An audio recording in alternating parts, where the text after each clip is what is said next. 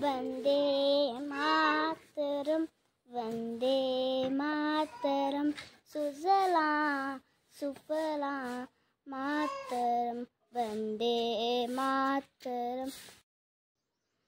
नमस्कार वीवर्स स्वागत है आप सबका हिमचक्षु व्लॉग्स पर। मैं हूँ एम आर भाटिया। आज का ये व्लॉग दो बहुत ही खूबसूरत गाँव, भाड़ा और टिपरी का है, जिनके किसानों ने भी कुछ बात की है और मातृशक्ति ने भी उसमें कुछ पुराने ज़माने के कल्चर के बारे में बताया है और यहाँ के किसानों की घर देखकर और उनका कल्चर देखकर उनकी खेत और उनकी फ़सल देखकर उनकी मेहनत का अंदाज़ा लगाया जा सकता है।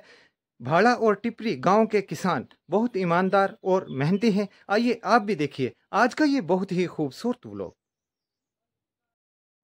आई लव माई भाला नमस्कार सर। नमस्कार जी सर। सर क्या नाम है आपका? पुनू राम सर। सर अपने इस गाँव के बारे में कुछ बताएँ सर। सर हमारा गाँव गाँव का नाम भाला है। यहाँ के लोग जो है खेती बाड़ी करते हैं। और कुछ एम्प्लॉयमेंट भी है। थैंक यू सर बात करने के लिए। थैंक यू सर वो पुराने जमाने के काटती है हर थी खिलाने हाँ। भैया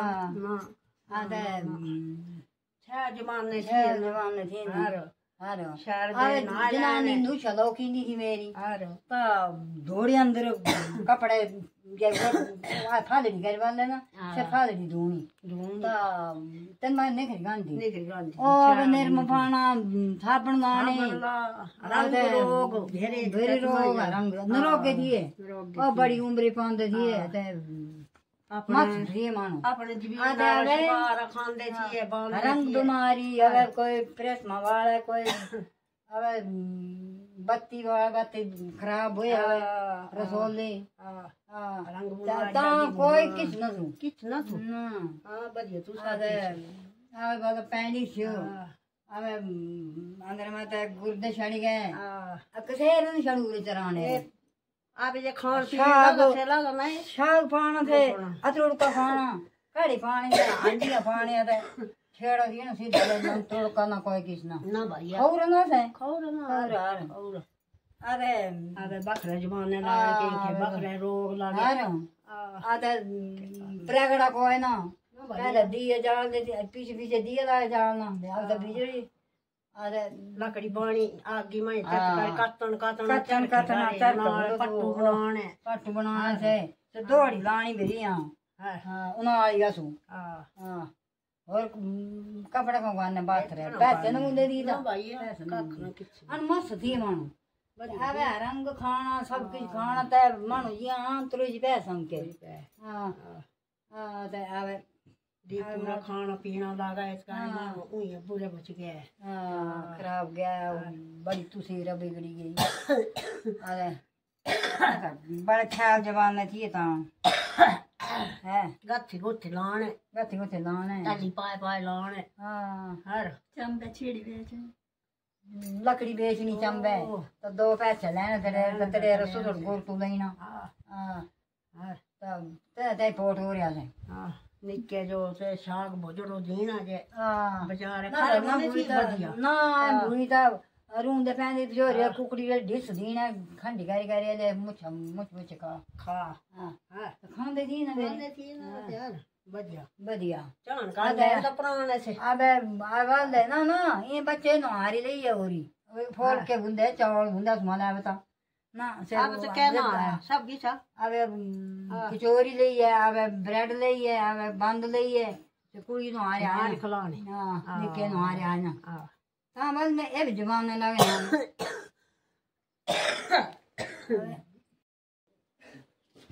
भाड़ा गाँव का एक पारंपरिक देवदार की लकड़ी से बना हुआ घर ये अपनी संस्कृति से अपनी ज़मीन से जुड़ा हुआ गाँव भाड़ा।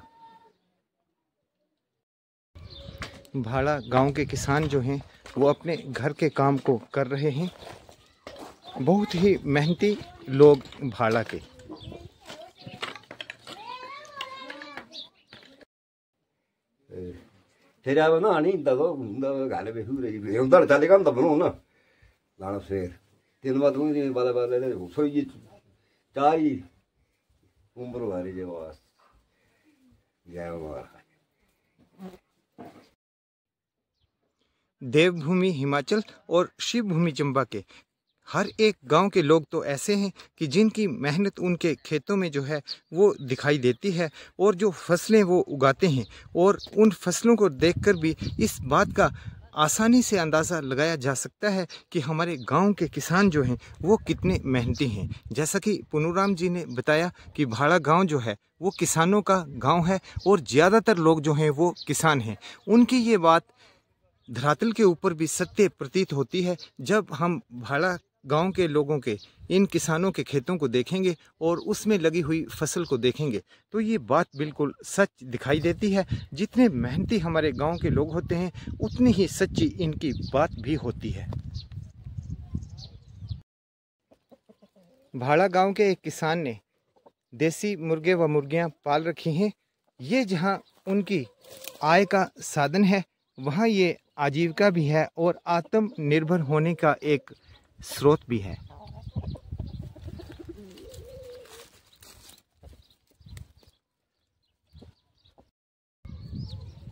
भाड़ा गाँव के ज़्यादातर किसान जो हैं, वो अपने नए मकान जो हैं, वो बना रहे हैं। ये भी उनकी मेहनत को दर्शाता है।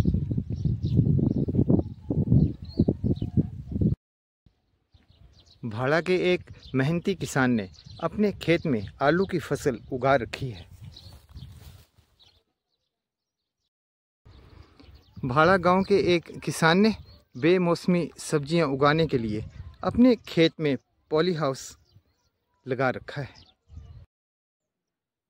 सुरम्य वादी और देवदारों के बीच में बसा हुआ भाड़ा गाँव कुदरती खूबसूरती का एक बहुत ही सुंदर उदाहरण है। यहाँ के लोग और यहाँ के किसान बहुत ईमानदार और मेहनती हैं। गाँव की गलियों में घुसना भी खतरे से खाली नहीं हो सकता है। ये जो कुत्ते होते हैं अगर आपका दिल साफ़ नहीं है तो ये आपको चीर फाड़ भी सकते हैं। भाड़ा गाँव के मध्य में देवदार की लकड़ी से निर्मित एक प्राचीन घर। आंगनबाड़ी केंद्र भाड़ा। कार्यालय ग्राम पंचायत ग्वाड़ जो कि भाड़ा में स्थित है। जहाँ भाड़ा गाँव के किसान मेहनती और ईमानदार हैं, वहीं इनके भवन जो हैं, उनमें से कुछ ऐसे हैं जो प्राचीन शैली के हैं और देखने पर अपनी ओर आकर्षित करते हैं।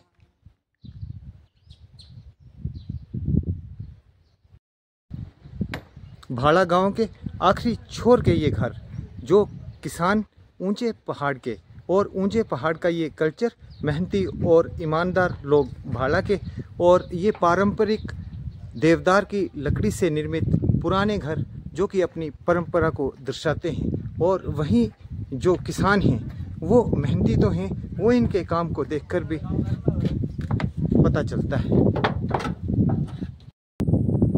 भाड़ा गाँव का ये आखिरी छोर और ये आखिरी दुकान इस खूबसूरत गाँव की सुरम्य वादी के बीच में बसा हुआ भाड़ा गाँव और बहुत ही मेहनती और बहुत ही मिलनसार लोग भाड़ा के। ये भाड़ा का मिडिल स्कूल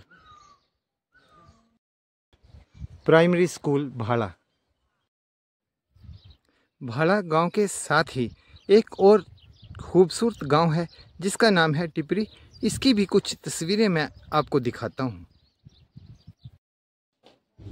टिपरी गाँव भी अपनी संस्कृति से जुड़ा हुआ गाँव है। एक किसान की जो है, वो ग्वाड़ है यहाँ, और एक किरड़ में जो है, वो पत्ते जो हैं, वो इन्होंने वन से लाकर यहाँ पर रखे हैं। जब गऊँ के नीचे की जो जगह है ग्वाड़ की, वो गीली हो जाती है तो उसको सूखा करने के लिए इनको उनके नीचे बिछाया जाता है।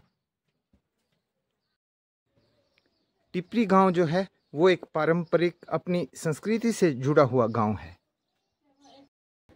अपनी परंपरा से जुड़े हुए गाँव के लोग और सामने पर्वत श्रृंखला और खुली हुई हरी भरी वादी, यही तो खूबसूरती है हमारे गाँव की। टिपरी गाँव के एक किसान ने यहाँ अपने पशुओं के लिए जो है चारा स्टोर करके रखा हुआ है। टिपरी गाँव के एक किसान ने मधुमक्खियाँ जो हैं वो पाल रखी हैं।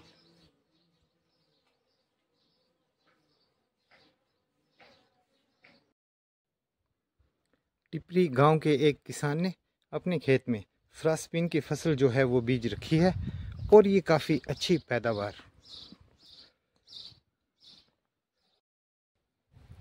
टिपरी गाँव के एक किसान का मॉडर्न हाउस जहाँ इस गाँव में पारंपरिक शैली के देवदार निर्मित घर हैं, वहीं आधुनिक शैली के भी घर हैं। ये टिपरी गाँव के किसानों की मेहनत को दर्शाता है।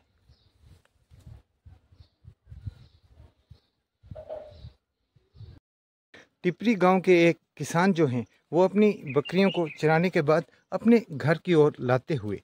टिपरी गाँव के किसान बहुत ही मेहनती, बहुत ही ईमानदार।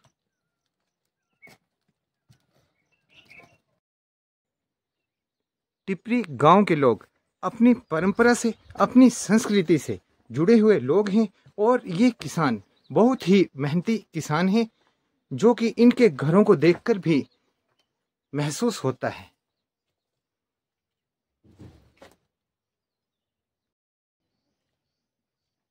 किसान अपने खेतों को जोतकर दोपहर के वक्त अपने बैलों को जो है, अपने घर की तरफ़ ला रहे हैं। मेहनती लोग टिपरी के। टिपरी गाँव के किसान जहाँ अपने खेतों में काम कर रहे हैं वहाँ यहाँ की मातृशक्ति भी अपने काम को जो है वो कर रहे हैं और अपने पशुओं के नीचे डालने के लिए वनों से जो पत्ते हैं वो अपने घर की तरफ़ ला रहे हैं। नमस्कार सर। सर नमस्कार। सर क्या नाम है आपका? सर मेरा नाम सरण सिंह है। सन सिंह जी, मैंने आपके टिपरी गाँव की कुछ तस्वीरें ली और किसानों से भी बात की और उनके खेत भी देखे। यहाँ का कल्चर जो है, अपनी संस्कृति से जुड़ा हुआ कल्चर है। सर, आप भी अपने इस टिपरी गाँव के बारे में कुछ बताएँ, सर। सर, क्या बताना, बात यह है कि जो हमारे, हम भी पढ़े लिखे हैं, उतना हम एजुकेटेड नहीं है, पर जो आज की जनरेशन है, वो ठीक से पढ़ रहे हैं और ये तो काफ़ी अच्छी बात है सर कि जो आज की जनरेशन है न्यू जनरेशन जो है वो काफ़ी अच्छी एजुकेशन जो है उसमें है और वो गाँव की तरक्की के लिए भी बहुत अच्छी बात है। सर आपने मेरे हिमचक्षु ब्लॉग्स के व्यूवर्स के लिए अपने टिपरी गाँव के बारे में इतनी अच्छी बात कही। सर इसके लिए बहुत धन्यवाद। धन्यवाद सर। जय नाग देवता ये हमारे भाला में नाग देवता का मंदिर है। हमारे बुज़ुर्ग कहा करते हैं कि ये मंदिर काफ़ी साल पुराना है। इस मंदिर की बहुत मान्यता है। ये जो भाला में नागराजा का मंदिर है और हम इस टाइम जो मौजूद है नागराजा के गर्भगृह में, जो हमारे समक्ष जो मूर्ति दिख रही है, ये जो है, ये मुख्य मूर्ति है और ये माना जाता है कि हज़ारों वर्ष पुरानी है। इस मंदिर में जो है काफ़ी ज़्यादा दूर दूर से श्रद्धालु वगैरह आते हैं। जो उनकी मन्नतें वगैरह होती है, वो अगर जब वो पूरी हो जाती है तो वो यहाँ पे आके जो त्रिशूल वगैरह है, चुनरी वगैरह है, वो यहाँ पे आके चढ़ाते हैं। नाग देवता के इस मंदिर में जग और जातर होती है। इस मंदिर में जो है पुजारी और जो चेला जी है मतलब वो हमारे परिवार के ही हैं। और मैं जो मुख्य मूर्ति है उसके साथ जो है दिखाना चाहूँगा, ये जो है हमारे दादाजी है। जब इनकी मृत्यु हुई तो हमारे परिवार में एक स्वप्न वगैरह पड़ा था तो उन्होंने बोला था कि मैं जो है नागराजा जी के साथ मतलब वहाँ पे बैठना चाहता हूँ। तो हमने एक शिला बना के उनको नाग देवता के साथ बिठा दिया दाहिनी साइड हे नागराजा, सब पर अपनी दया करो। आज के व्लॉग में इतना ही। वीडियो पसंद आई हो तो लाइक कमेंट व शेयर कर दीजिए। चैनल को सब्सक्राइब करना ना भूलें। फिर मिलेंगे किसी नए व्लॉग में। तब तक के लिए जय हिंद, जय हिमाचल।